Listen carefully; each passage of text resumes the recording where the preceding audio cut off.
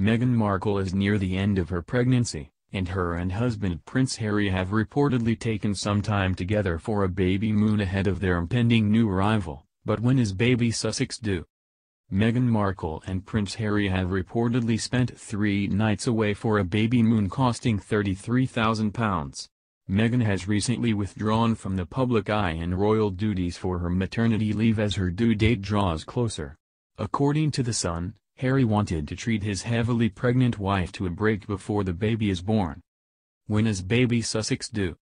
Meghan is due to give birth to baby Sussex this month, with the Duchess previously telling fans on a walkabout that she was due in April. Meghan and Harry reportedly stayed for three nights in the £10,000 a night long room of Heckfield Place country house in Hampshire. The mini break involved romantic walks, luxurious pampering and cozy fireside dinners at the expensive hotel. The room the royals stayed is believed to have had two terraced areas and its own dining room. A friend told The Sun, Meghan is only a couple of weeks away from giving birth, so Harry really wanted to treat her. They wanted total rest and relaxation, and Meghan was really attracted to the organic ethos of the hotel which produces much of its own food on an on-site farm. It was very chilled, they went for walks in their wellies, Meghan sat on a love swing hung from a tree and they ate delicious food.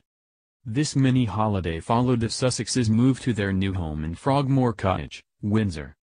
Their new family home is next door to where they celebrated their wedding reception with friends and family last year. ITV's documentary Secrets of the Royal Babies explored the couple's new home, reporting it had previously been staff accommodation so had needed quite a lot of work. The cottage had been made into five separate self-contained units for royal staff, so needed to be turned back into a home. The couple reportedly hired Vicky Charles, Soho House's top designer to transform their new home. Meghan and Harry's new baby is due to be born this month, and royal fans have taken to bookmakers to bet on the name of the newest royal. According to Ladbrokes, Elizabeth is the most likely girl's name for baby Sussex at 6-1 whilst Albert is the most likely boy's name at 12-1. Ladbrokes spokesman Alex Apati said, Baby mania is taking over the country now and royal punters are seemingly sticking with Elizabeth.